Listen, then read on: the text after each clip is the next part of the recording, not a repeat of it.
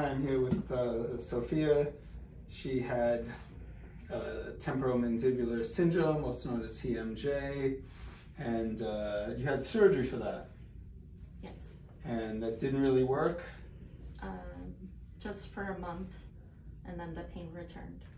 So uh, we did Botox injections, which is known to treat cervical dystonia and headaches, and uh, can even do it for TMJ syndrome.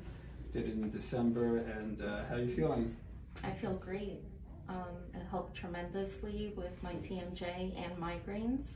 Uh, improved neck pain a little bit as well, but I highly recommend. So it's a great treatment for jaw pain, headaches, neck pain, and even other conditions as well. So really happy she's doing well. Thank you so much.